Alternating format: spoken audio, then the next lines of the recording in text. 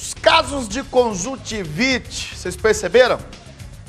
Aumentou em Maringá, né?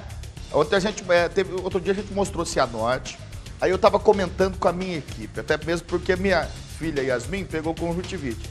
Falei assim, na hora que foi levar minha filha no doutor, Jack Chan, o médico lá falou assim, ixi, já veio umas sete pessoas aqui com a mesma coisa aqui. Aí eu falei, rapaz, deve ter aumentado o número de pessoas com conjuntivite. A gente foi checar e não é que é verdade. Então agora a gente preparou uma reportagem para trazer o alerta para você e também falar sobre as precauções que você deve tomar, tanto para, se você tem conjuntivite, não passar para os outros, quanto para você que está com medo de pegar conjuntivite, não pegar. Vamos ver. Vermelhidão, sensação de areia nos olhos e ardência. Ao sentir esses sintomas, a Aparecida foi rapidamente ao médico. Porque eu falei, onde eu trabalho, né, vai que eu vou trabalhar e passo para todo mundo. Aí eu resolvi, por isso que eu resolvi vir. E pra, por causa das pessoas de casa também, né? Tereza também está com conjuntivite. Ela é a quinta pessoa da família que pegou a doença nos últimos meses. Meus dois netos, né, eles tiveram, não tão forte como o meu, mas aí eu nem sim, não me dei conta que podia é, ser contaminada e tudo, porque estava dois, três dias dele já melhorou, né? Vários casos como esses já foram registrados este ano aqui na unidade de pronto atendimento da Zona Sul, em Maringá. Até agora, mais de 700. Só nos três primeiros dias de abril, 90 pessoas foram atendidas nesta unidade. Mas atenção, as UPAs devem ser procuradas em casos com maior gravidade, porque a conjuntivite pode ser facilmente transmitida.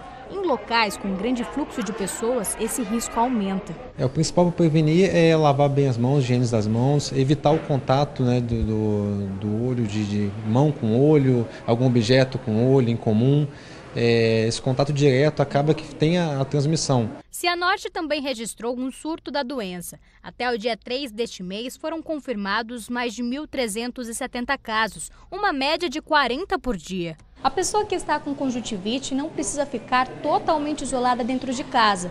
A recomendação médica é de que o paciente redobre os cuidados com os objetos compartilhados para prevenir que a doença se espalhe. Tem aumentado bastante para a gente o atendimento. É um momento que as pessoas ficam mais é, juntas umas com as outras, por causa do frio às vezes, e acaba que essa contaminação é mais frequente. Tem aumentado tanto na pediatria com as crianças, tem aumentado bastante, quanto também nos adultos.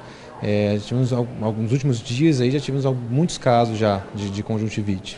Né? Então as pessoas vêm aqui para fazer o atendimento, a gente, a gente dá a orientação do, de como é que tem que ser o tratamento dela e aí tem que ficar afastado do trabalho, tem que ficar às vezes afastado do, do colégio, da, da creche por conta dessas facilidades de contaminação. Bom, então houve essa confirmação por parte das autoridades, aumentou o número de casos aqui em Maringá de conjuntivite. É importante que vocês sigam os alertas que vocês viram aí na reportagem, tá?